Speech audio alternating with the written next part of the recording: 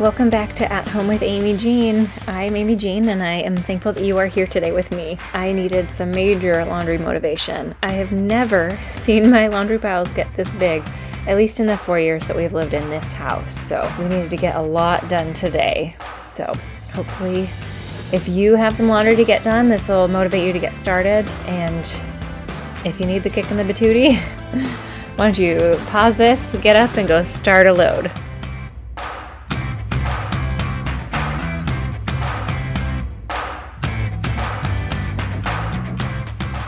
I really like using these collapsible baskets for my dirty laundry, just sorting it by color. I do use color catcher sheets every now and again if I have a smaller load that I'm putting like reds in with whites or something like that, but for the most part we generally have enough laundry to do good size load of each color. These loads were getting really big. It has been an interesting few weeks around here. The Pacific Northwest got a good amount of snow after Christmas, and in our area specifically, it snowed and then melted, and then snowed and then melted, and then snowed and then melted. So we had layers of snow and ice, and when it was finally warm enough to start raining, it rained really hard. So our, our house actually sits pretty low in our neighborhood, and so a lot of the water drains basically into our yard and under our house. So we have had to learn some things as we have lived in this house that we've had to put in extra sump pumps and be really strategic about our drainage to get it out from under our house. And even this year, we had basically a river coming from the road in front of our house through our front yard to our front door. So we had some interesting times getting that figured out. My poor husband actually had surgery the following day, so he didn't really get to rest much before his surgery. So I'm very thankful that he was able to get that done before he was out of commission. We had to put up some instant dams along the road to kind of guide the water away from our yard to the drain, which then routes it under our side yard to the wetlands behind our house which then when the water rises back there, it also rises in our backyard. So it's just, it's been an interesting season of living in this house as we try to figure out what to do. So after all of that, he had surgery and then just was not feeling real great for the following week, week and a half. So I fell behind with laundry and some other household stuff. So it is definitely good to tackle this pile today. I was starting to feel overwhelmed by it, and I knew that the best thing to do was to just take a minute, look at it, and then start moving. Get on it. So that's what I did. As you can see, start by sorting and then get a load in.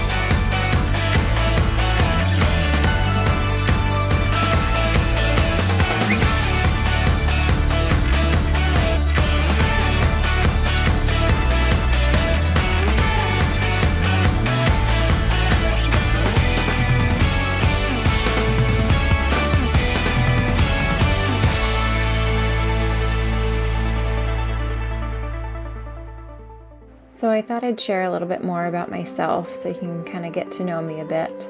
Some things I like to do are listen to audiobooks, watch movies or TV.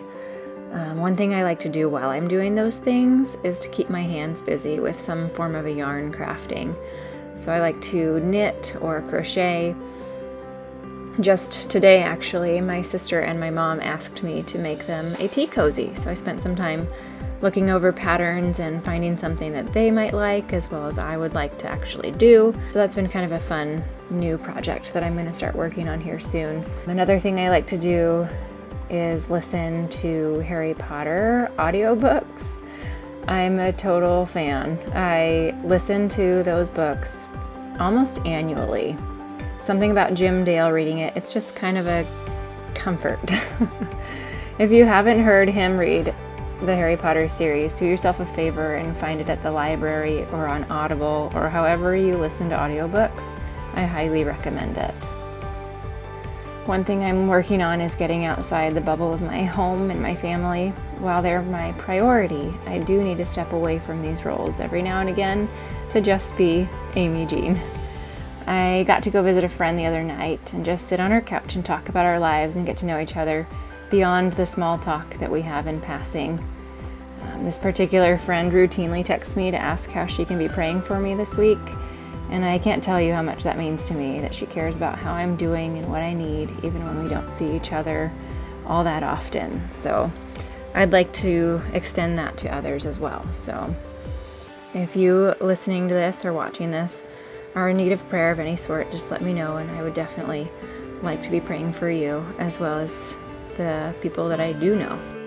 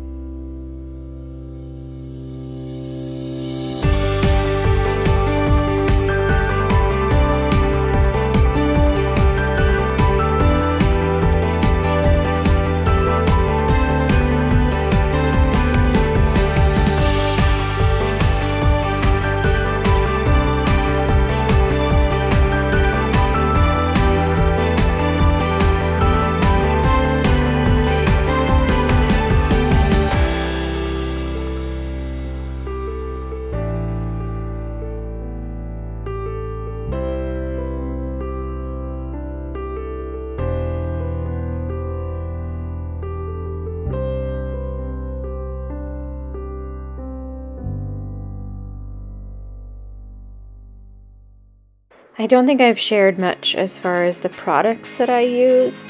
I realized this week as my husband is recovering from surgery that he also broke out in hives, and we realized that it was because I was using a sample of a laundry detergent that had been given to me. And while I loved it, it was rosemary and lavender smelling like laundry pods, and I thought it was awesome. I thought it smelled wonderful, but he started breaking out in hives and really itchy, and we realized immediately that that was the only thing that had changed besides his surgery, which he had been on a few days of the meds after that and had no problem. So, more laundry to do to get back to our free and clear ways. I use Earth Breeze detergent sheets in their free and clear um, scent, or I'm not sure what you call it. They're free and clear version. How about that? And then as far as dryer sheets, I prefer not to use dryer sheets, but I have noticed when I don't that my lint trap is clean. And so I feel like in order to get the lint and the dog hair and cat hair and everything off of our clothes in the laundry, that dryer sheets seem to be a must. So I use the All brand, also free and clear. So if I want some things to smell good, I do have wool dryer balls that I will put lavender essential oil on. So I'll put a few drops on each of the balls in the dryer and then the clothes come out smelling wonderful. Lavender is probably my very favorite scent. And that and probably another warm scent would be vanilla, but I haven't really found a vanilla essential oil that smells quite right. So if you know of any good vanilla essential oils, please let me know because we have sensitive skin in this house.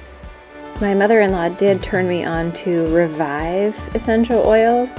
Their website sells directly to the buyer, and so I've actually really enjoyed their products. I think from the things that I have ordered from them. They have a good amount of organic essential oils. They are really good quality for the price point. So if you have seen in my other videos, if I am doing essential oils in the diffusers, it is usually the Revive brand. So I will link that in the description box if you're interested in that actual brand because I love it.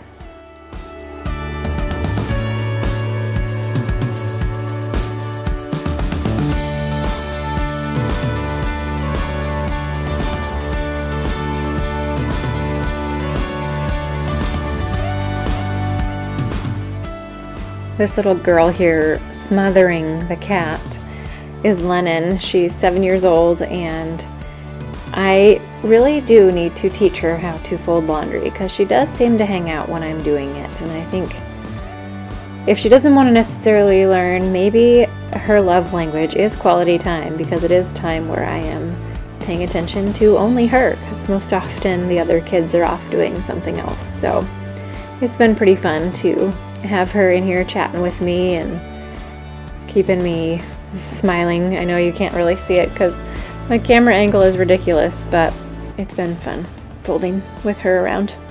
Now that I'm thinking about it, I should actually say that quality time is probably her secondary love language. I want to say her primary is gifts.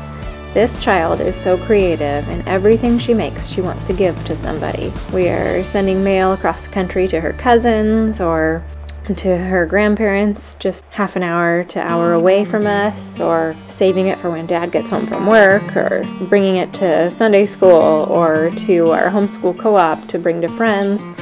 She just loves to give things to other people. I think it brings her joy. So that's been a fun thing to see develop in her.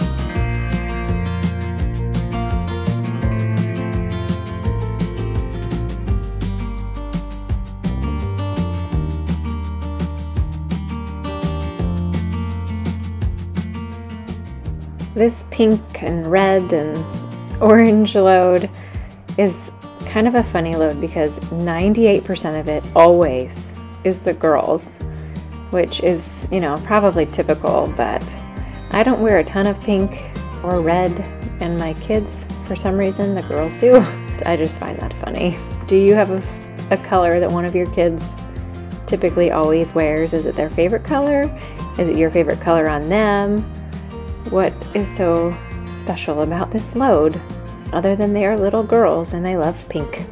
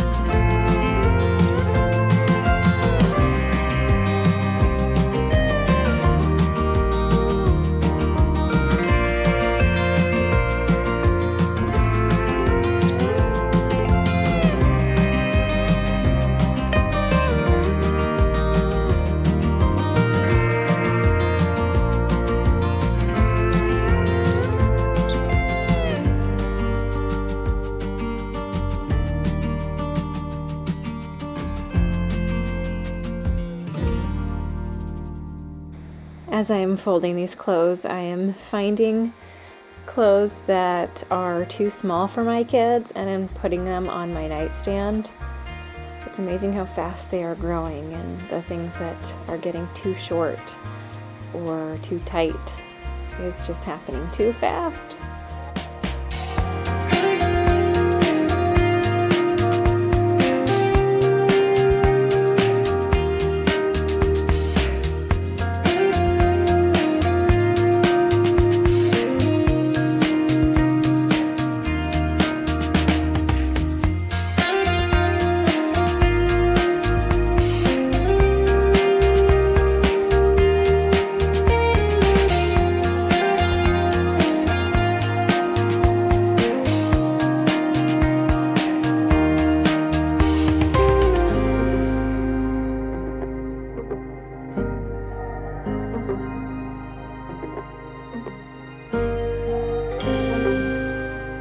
This load only took me about eight minutes to fold and get taken off my bed, and then I came out to the living room to this. Oh my goodness, you're a frog.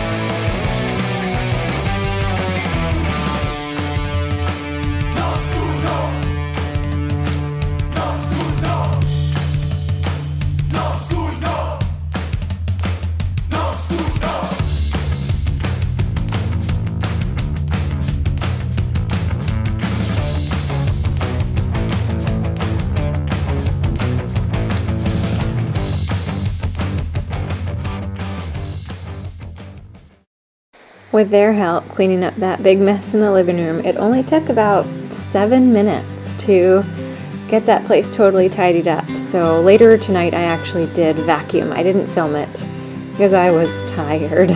I'm about to toss in a load of lo- a load of laundry. Yes, a load of laundry. I'm about to toss in a load of towels, which I wash on a sanitize cycle, which takes about two hours. And so I ended up switching it over to the dryer right before I fell asleep so that coming up here is the next day.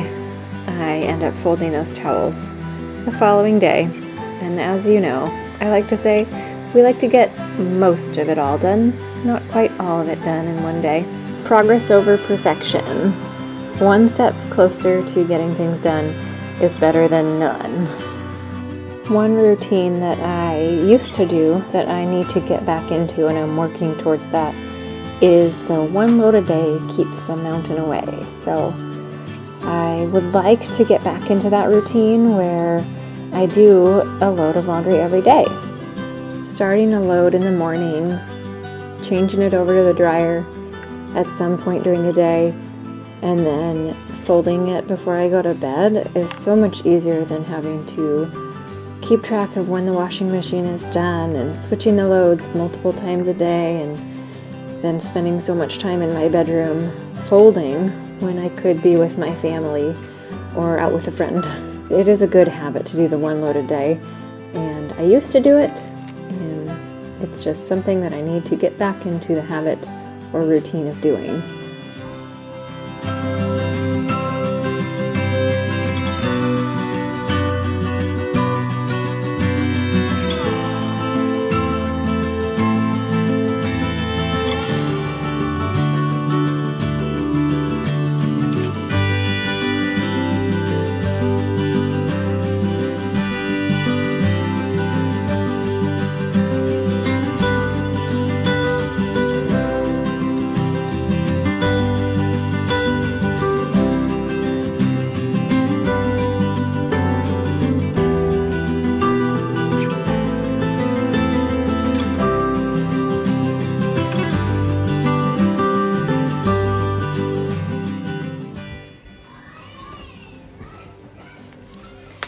Apologize for the background noise. It's a little loud in here. The kids are watching Luca and wrestling. um, but thanks for coming along with me for this laundry motivation. I had this huge pile, piles of laundry that I needed to get done.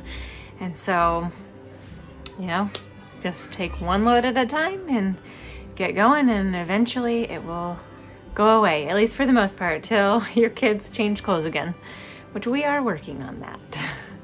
But I hope you are having a wonderful morning, afternoon, or evening, and God bless you.